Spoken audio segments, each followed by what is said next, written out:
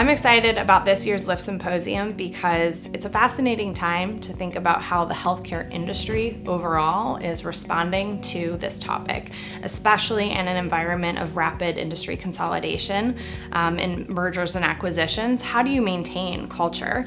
How do you make sure that um, organizational cultures blend together in a way that still promotes gender equity? So I'm really um, interested in learning from the leaders who we have um, and hearing their insights. Um, I remember vividly when I was a resident, one of my first experiences as a resident, and I walked into a patient's room and I introduced myself and I said I was doctor and um, the patient questioned me and looked at me and said, are you sure you're the doctor? And I remember feeling like, well, I'm not certain what they're questioning. Are they questioning my youth? Because I did look very young.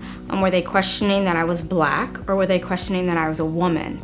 And um, that happened several times throughout my career, and it really had made me pause and question, you know, how do I exert myself? How do I make sure that individuals know that they're talking to a physician, that they're talking to a female physician? I'm most optimistic that leaders, leaders across the sectors, see women as essential to their team and most importantly, essential to their leadership team, and that women are standing up, they're speaking out, and they're ready to serve in that capacity. Uh, a message that I would bring to this from the Women's Commission and the Mayor's Office is join together, learn together. We've, over the past two years, bringing new companies to the table that have maybe not thought of this conversation before. And some companies want to have, hey, what's my one fix? Tell me the one thing that I should do. And we really want to open up that conversation to be there are many different things that we can do to change the story here for women in our community, and let's do that together. And so by partnering with Columbus Business First and the Women's uh, Commission, we have the opportunity to innovate drive more action and accelerate the transformation that's happening here in Columbus.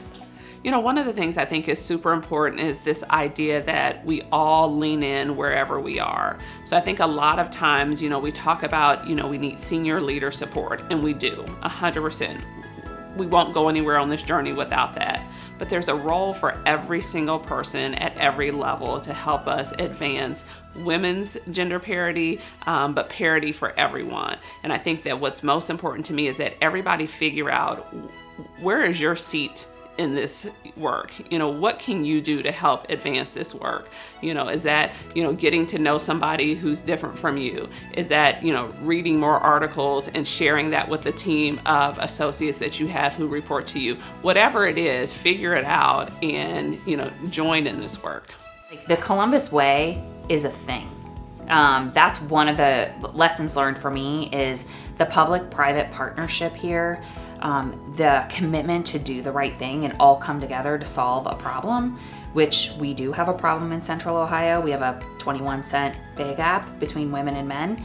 Um, there is a commitment to solve that, and we have 204 adopters of the commitment, and more joining on every, joining every day to um, change the story. I think it starts with you, and I think um, as long as you're willing to make a difference and to continue the conversation, all things are possible.